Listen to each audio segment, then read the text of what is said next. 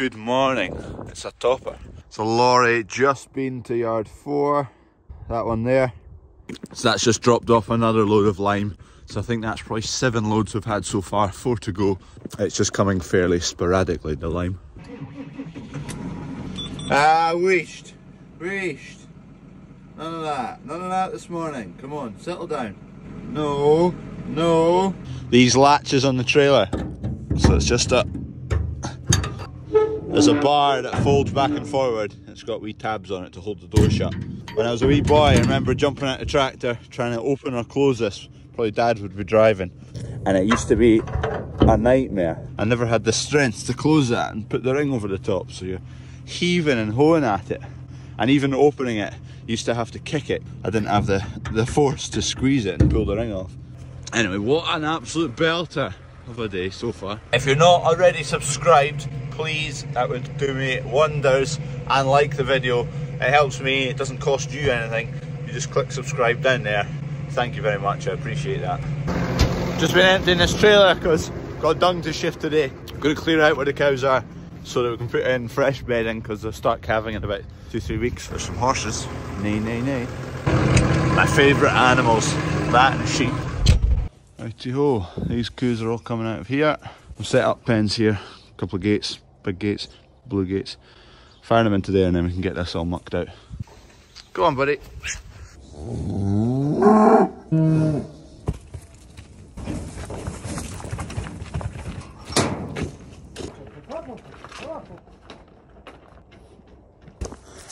Oh, they weren't playing ball straight away, but anyway, they're all in. Just about to start clearing this dung, got the trailer set up. Kev is currently up there playing, but he's heading down this field, heading towards the yard, so I don't know what that means. We'll soon find out. Anyway, to the dung. Ah, I've realised, I've realised, on the right of where he's driving up and down, there's carrots going. So no plough issues, he's just marking off the edge of the field, he's splitting the field in two. I just kept going and ploughed the whole thing, and then got a phone call from them, from the boss. What are you ploughed all that for? Load one, which I might have filled too full, flipping plonker. Because this is a manual door, it hinges along the top there, not like a hydraulic door where that part would shift all the way out the road. So there's a big, big gap for material to fall out the back, whereas this, it's always going to have that bit there, even when that folds right the way up. So the dung needs to make it underneath that, and obviously it's not underneath that. Am I going to be in a bad mood, Coos? So I'm about to go and tip it and probably get it jammed and then shout and swear. Ah, f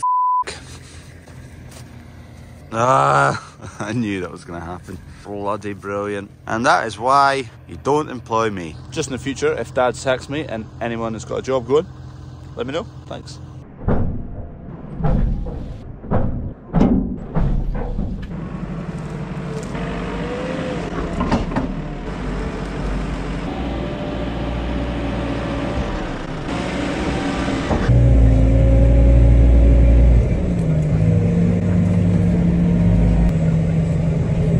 Was going to say, well, I'll not do that again, but I'll do it again. Don't you worry.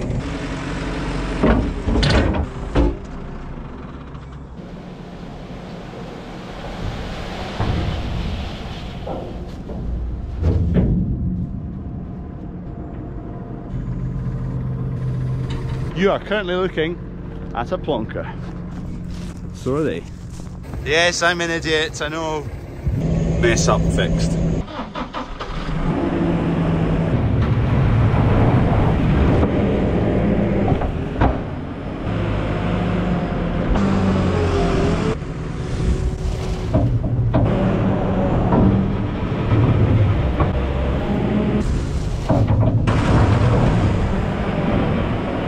Right, fill it too full this time. Have some restraint.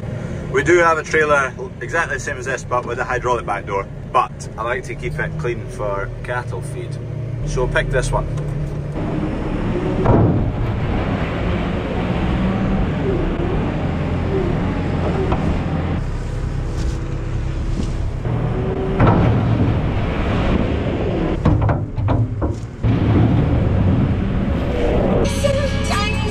Bangers from Pure.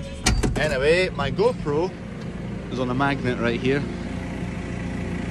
Yeah, yum. Come on, pal, out you get. Haha, lovely. Lovely, lovely.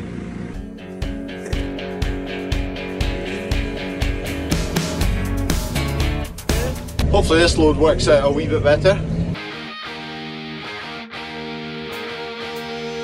We've let out a bit of ground over there for spuds this year, so they're just in ploughing it at the moment.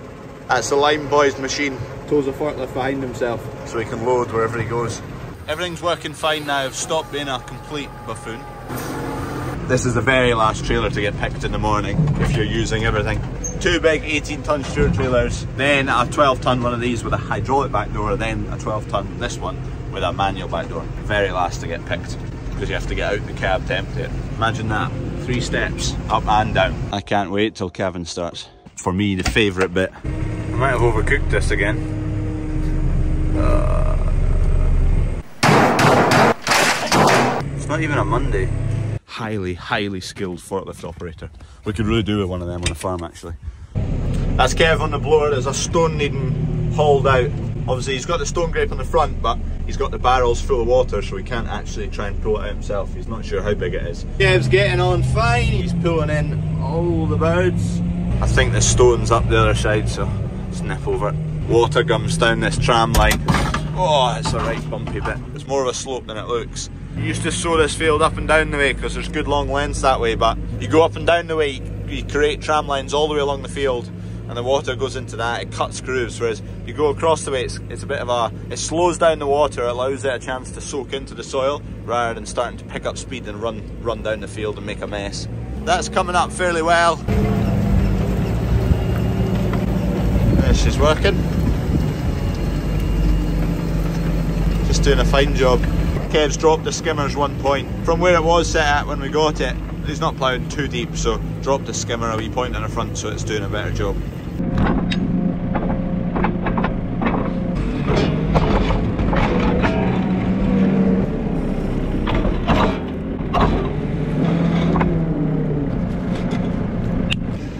You've been rubbing your spots off.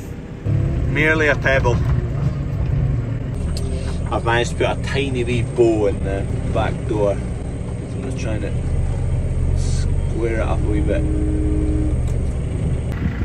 Right, I've managed to square that bit up. I managed to straighten all of it. Just there's a wee lip down there where it joins on to the base. You see there's a bow across the top of that.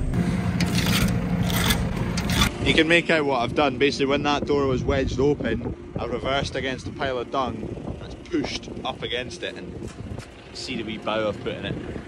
Let's wedge it open then I'll use the base of the headstock there to flatten that off again within reason. Right, hopefully a wee nudge down there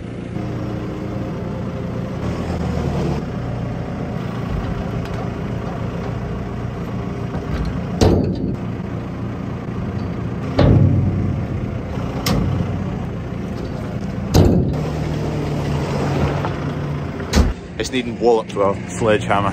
Didn't really want to push it too far with a forklift in case I broke something else.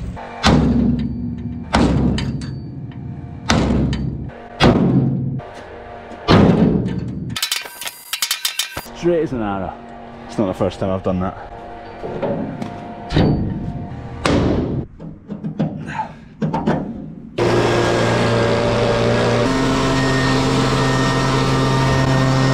Just been going along these purlins when we had the straw blower these are flat purlins, so the straw lands on the purlin, stays there, looks messy. So I've just been nipping along with a leaf blower and getting them cleaned off because the straw blower is gone now. That's one thing to take in mind when we're designing the shed. Bit, wee bits like that, like the edges where the walls finish and they join onto the sheets or whatever it may be to have an angled slope off of there like our grain store has. Just lets the straw fall off of it rather than building up and it's a place for vermin to sit and just looks messy.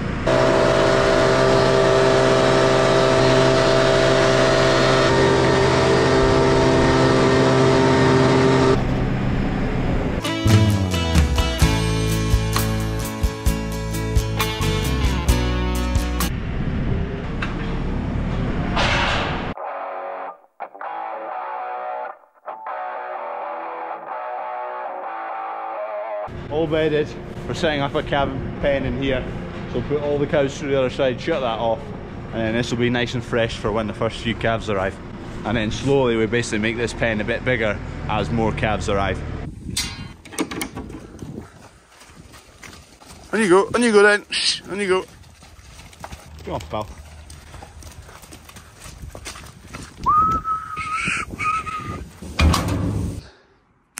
Smash.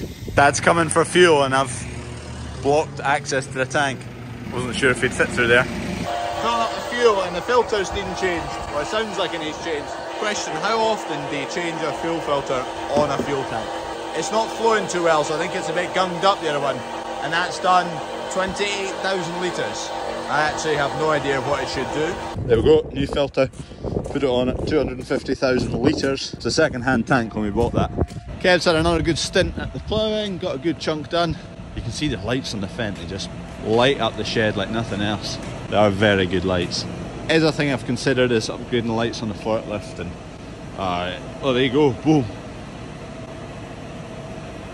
Yeah, you see a lot of guys upgrade forklift lights and whatnot to big LEDs. They do the job on the forklift. They're actually quite good on that forklift. Both New Hollands are on LEDs, that's on LEDs, so there's plenty of illumination around here. Job done. That's all that done sorted out.